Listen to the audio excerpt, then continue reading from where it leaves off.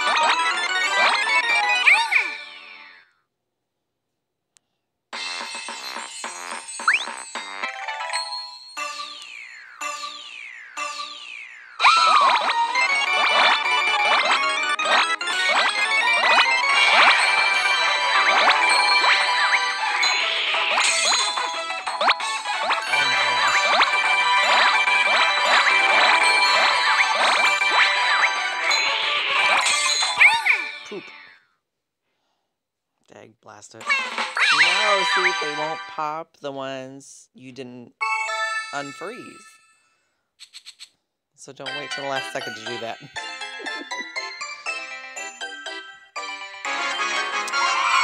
only for the week.